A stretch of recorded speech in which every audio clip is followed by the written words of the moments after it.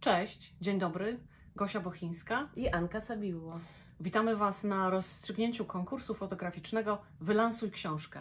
Adresatami e, konkursu są klubowicze wielkopolskich dyskusyjnych klubów książki. W konkursie wzięło udział 18 osób i otrzymałyśmy 28 prac.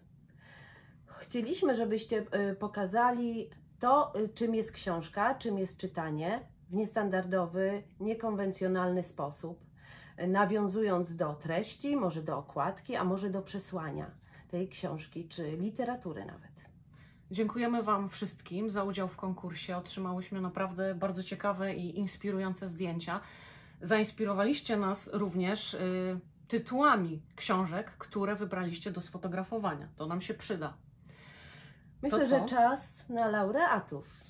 E, Drodzy Państwo, w grupie dorosłych nagrody otrzymują Marcin Hałuszczak z Trzcianki, Paulina Dobrzyńska z Ostrowa, Lech Waksman z Wolsztyna i wyróżnienia Jadwiga Andrzejewska z Rakoniewic i Wiktoria Stróżyk z Nowego Miasta. Brawa!